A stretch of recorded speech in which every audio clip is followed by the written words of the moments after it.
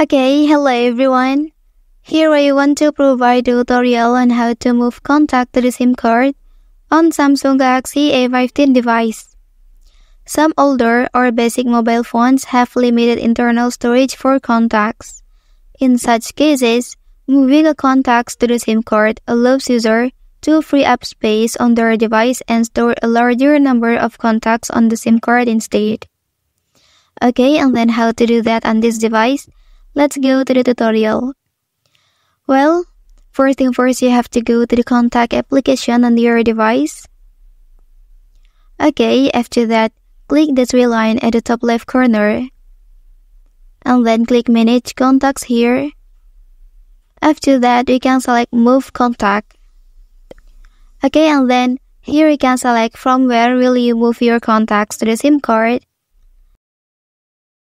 and then you can select a contacts. Or you can select all by pressing this option.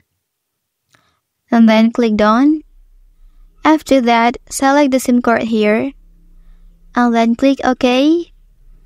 And then last you can click move at the bottom.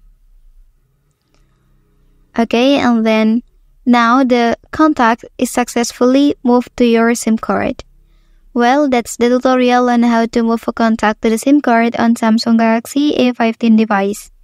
If you are helped by this video, don't forget to like and subscribe to get other information from this channel. Thank you.